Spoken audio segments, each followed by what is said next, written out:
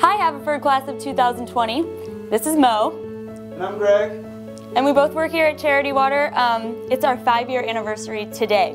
We turned five today. And uh, today we've been able to bring access to clean water to about 2 million people around the world.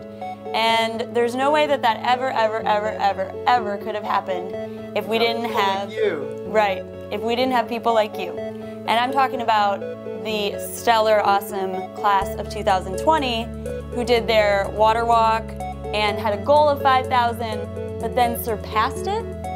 Wow. Second graders surpassed their goal of 5,000. $5,000. Dude, I haven't had $5,000 in like my whole life.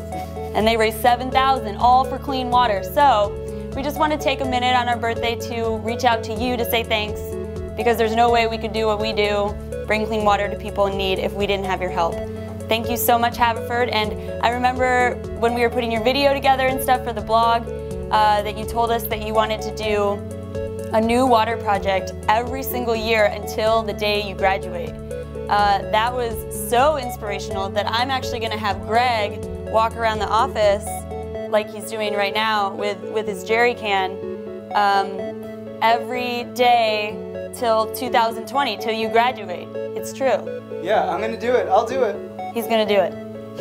I don't know what our other uh, staff will think of that, but thanks so much, Haverford, and um, we're excited to see what else comes out of comes out of your efforts. Thank you so much for sticking with us. Um, Thank you. thanks.